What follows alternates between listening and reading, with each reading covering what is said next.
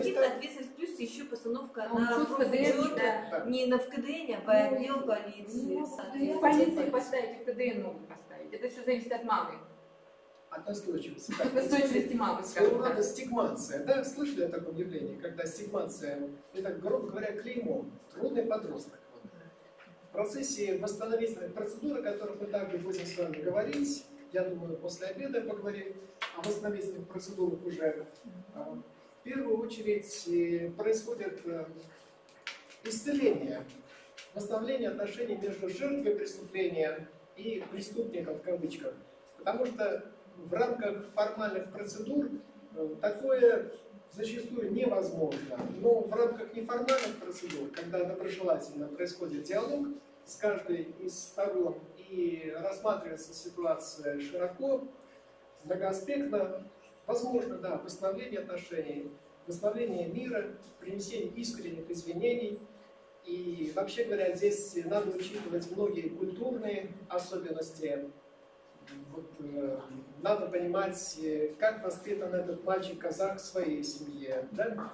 как воспитан мальчик, э, которого да, видел этого одноклассника, десятиклассника в своей семье, что значит уметь постоять за себя, насколько мальчишки должны быть сдержаны в этих выражениях таких вот эмоций, ну и так далее. Все-таки они одноклассники.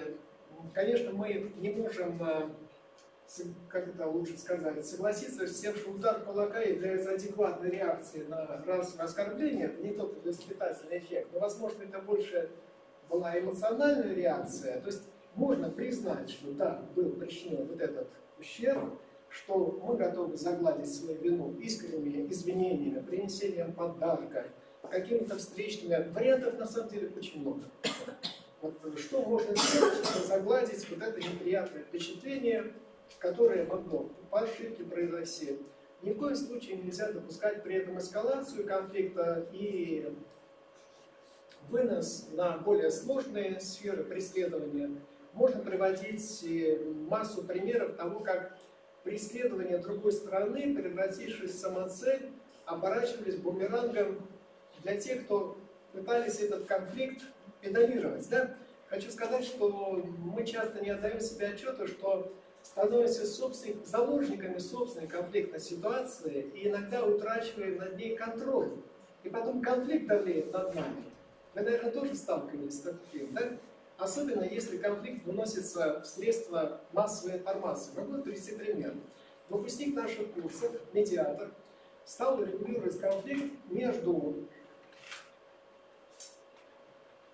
гражданином Республики Казахстан, который входит в элиту. Ну, считайте это, что казахский «Газпром». Руководитель казахского «Газпрома» разводится со своей супругой. Как происходит этот трудный развод? Он старше ее, есть разница в возрасте, лет на 15. Она решила с супругой, что любые методы хороши для того, чтобы потребовать щедрые, щедрые алименты, как с Романа Абрамовича, или даже побольше, и стала одолевать его исками в судах разных государств. То есть не только в Казахстане, но и в Таджикистане, но и в Киргизии, поскольку для этого были определенные основания. Понимаете, они были гражданами разных государств. Это был интернациональный брак. Кроме того, у нас сейчас э, международное право настолько запутанная сфера, и в ней возникают в этой сфере такие удивительные коллизии, что перестаешь просто удивляться тому, насколько изобретательно